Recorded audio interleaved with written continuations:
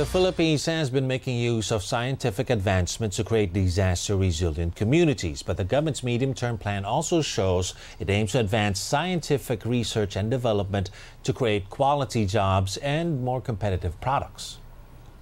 So how exactly can science help businesses grow? Here to discuss this with us today is Science and Technology Secretary Renato Rene Solidum Jr. Secretary, welcome to the program.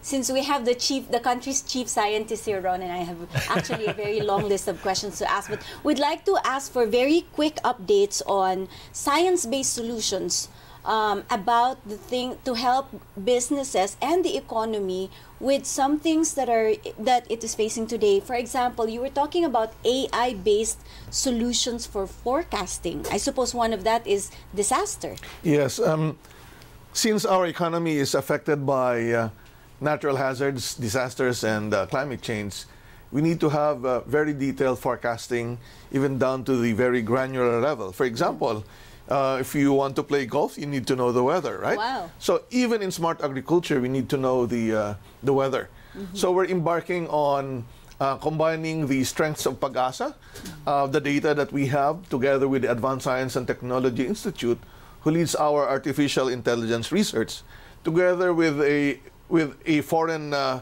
uh, company who's advanced in AI in weather forecasting. Mm -hmm. And so we wanted to test whether we can really improve our weather forecasting and uh, and we believe that we can do so so that we can really help our businesses especially agriculture aviation shipping to really use science data in their operations i think one of the things that we have been inundated with recently mm.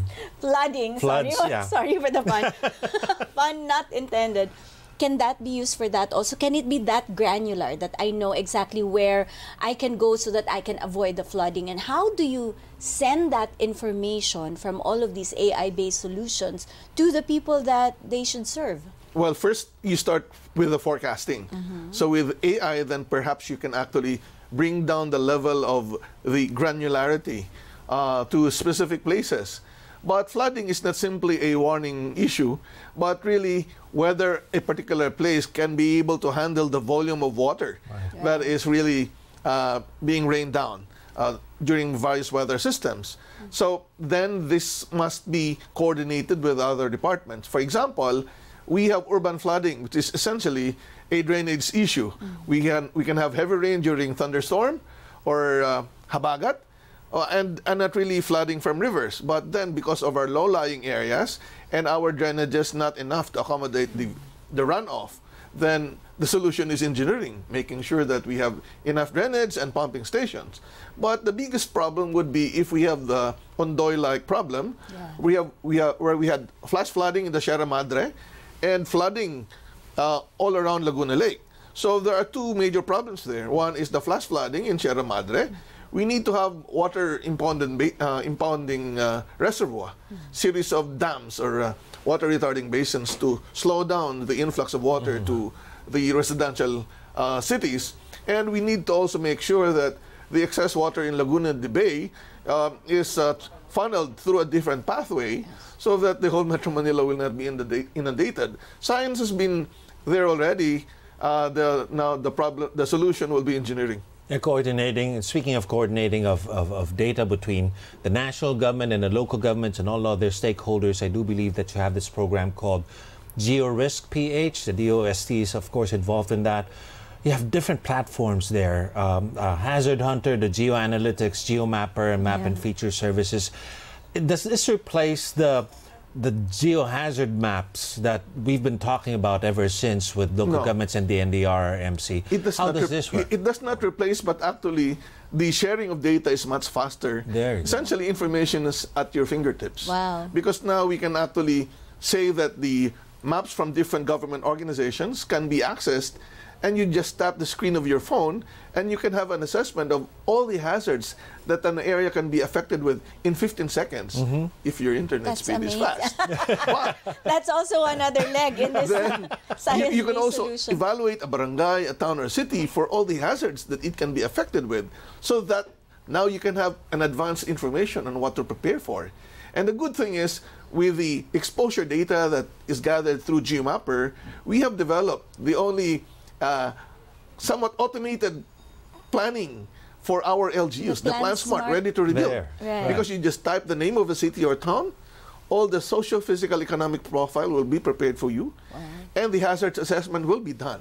Are, are the LGUs the only ones who can access this data, or can businesses uh, And uh, look at it individuals, also and use it for uh, their uh, for dif- different industries for operations. No, for the different uh, for Hazard Hunter and uh, GeoAnalytics, they can access it freely. In fact, many There you banks are using the Hazard Hunter automatically Right, when they approve the loans. when they approve the loan. yeah, Yes, yeah, and yes, when they very give fast. insurance, yes. But uh, in terms of Plan Smart, it's not re- uh, available yet to the business sector. But if they can partner with the LGUs where they intend There to you invest in, then they can actually access it. You know, it's shocking how come all of this information is not known Right. by a lot of people. I mean, they're very practical and very useful, not just for businesses, for LGUs, even for individuals, right? Hazard Hunter, even you can input your house location, find out right? And find out hazards in your if area. this this place you want to build your house on is hazardous. Admittedly, we at the Department of Science and Technology before has been shy to actually speak about the different accomplishments, but uh, we realized that we need to ramp up our communication. So we have a science communication framework and agenda where we target uh, the publics, the media, and the policymakers to make sure that uh, the science, technology, and innovation that have been developed can be used for various purposes. Okay, talking to businesses now, are there um, maybe tech driven businesses uh, and opportunities that the DOST sees as particularly promising that uh, businesses may uh, work up on and plan for? Um, industries that they, they may invest on in the near future. That There- is the, yeah. the, the, the DOST is focusing on right now. Yes, we have various uh, industries that uh, we focus on. Can be agri, aqua, can be health, and uh, ICT. Um, and there are va- these are at various stages of development. But for the health sector, there are biomedical devices already done. There are uh, uh, medical applications that are already ready, uh, and some have been launched. Now, on the use of uh, ICT, the use of AI, um, the use of other uh, technologies like advanced manufacturing, 3D printing, these are all available for industry to partner with DOST. In fact, we have the most advanced uh, 3D printing uh, center in the Philippines. And even in Asian countries, I think we're one of the leading uh, uh, countries, government owned, where we actually invite different partners from the industry and the academe to collaborate with us and uh, to develop the prototypes of the ideas that they have. You know, Ron's a uh, we have- guy. He'd probably yes, to go there. I invite you to Yeah. visit. After. And essentially, you can be so amazed that uh, we can do printing for the various plastic, ceramic, and metal. Uh, even medical doctors now would sometimes request that a three-dimensional figure of uh, body parts where they need to operate on We have that can be printed so they can practice before the operation, so they can be more, precise. and businesses can go there and Yes. avail of the technology. and For- and uh, work with us either through as a service Yeah. or a collaboration. In fact, uh, we have a DOST Philippine Chamber of Commerce and Industry uh, agreement. Now we have a DOST PCCI Council where we have uh, key uh, uh, focal persons for different sectors to be constantly God. uh, meeting so that we can get an get ideas from PCCI on what to focus on or where we can be assisted. One of the challenges uh, that we need to um, the hurdle is that typically before our technical people, when they write proposals, they have this uh, technical perspective.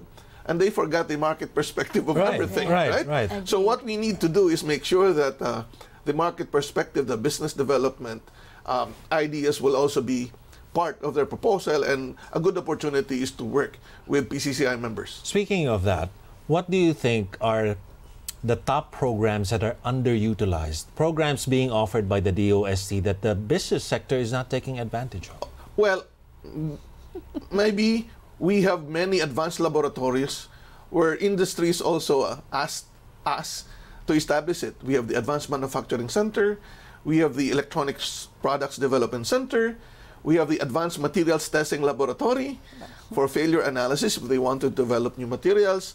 We have uh, the Advanced Simulation uh, Packaging and Packaging Center, Green Packaging Center. All of these are available. So uh, I I think we need to advertise more, and thank you for this opportunity. I think I can advertise it, It feels your like program. listening, listening to you, Secretary Rene, talking about all of this. It's like the chief scientist talking about all his toys. Uh-huh.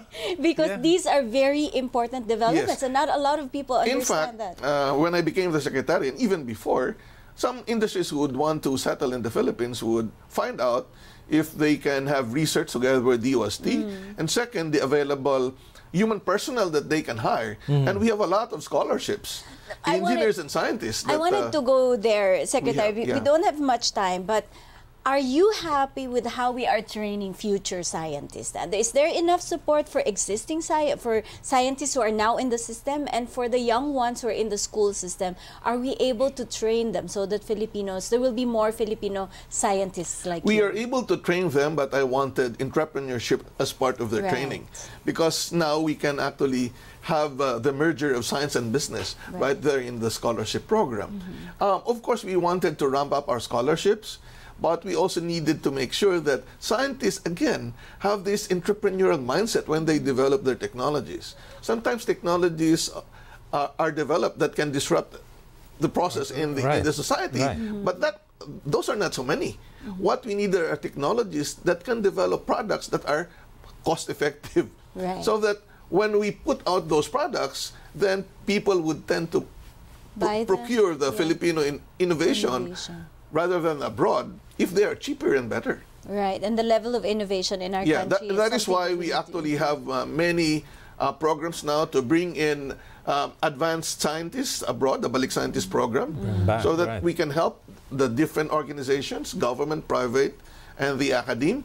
We also have the career incentive program where our scholars can work um, in, in government while they're looking for a permanent job, or maybe they can be hired in, in the uh, organization where they are doing their career incentive program. Now, I know, I know that the DOST is engaging with the, the, the business sector in um, in helping out uh, the DOST, of course, in its in its projects.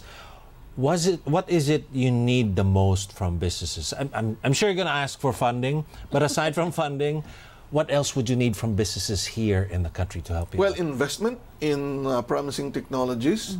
Second is uh, also partner with us in doing research and development. Yeah. Because for for the economy to really grow, we need to have the private sector involved in R&D. That is why we have a program where we actually now would uh, engage companies who have problems, engage universities or research and development institutes so that their productivity can be improved. Or if they have advanced uh, R&D but they needed some uh, technologies to be procured, we also facilitate the uh, uh, acquisition of these instruments. In fact, for example, in the 3D printing business, we can uh, 3D print uh, uh, something related to the human body parts. Uh, we Yeah. recently launched uh, with a uh, company in Iloilo uh, the uh, first ever 3D bio, bioprinted human skin equivalent. Because uh, you don't test animals because if you want to test the your uh, medical application, uh, you need animals like rabbits Right. or Right. gu- guinea pigs. But then it's very costly, and of course you harm the animal. Yeah. You can So actually it's now produce the it on- bio human no skin, more animals and, being and harmed in the experiment.